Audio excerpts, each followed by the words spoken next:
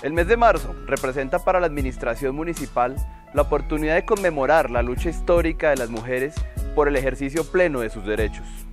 Es por esto que hemos preparado una serie de actividades en torno a la conmemoración del mes de la mujer.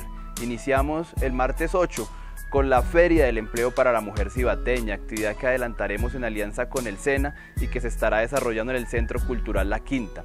Posteriormente, el viernes 11 de marzo, tendremos la elección del Consejo Consultivo de Mujeres. El sábado 19 de marzo estaremos adelantando una actividad masiva para la mujer cibateña, una clase de zumba en el parque principal a partir de las 9 y 30 de la mañana.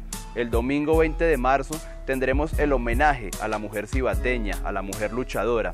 Nos concentraremos inicialmente a las 3 de la tarde en el barrio Pablo Neruda y posteriormente a las 5 de la tarde en el Polideportivo del barrio El Progreso.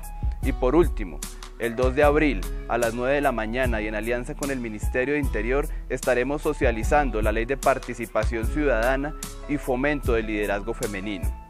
Son diversos los factores que hoy nos motivan para ejercer acciones transformadoras y decisivas en la calidad de vida de las cibateñas, dando así a las mujeres más motivos para creer y avanzar. Motivos para creer y avanzar.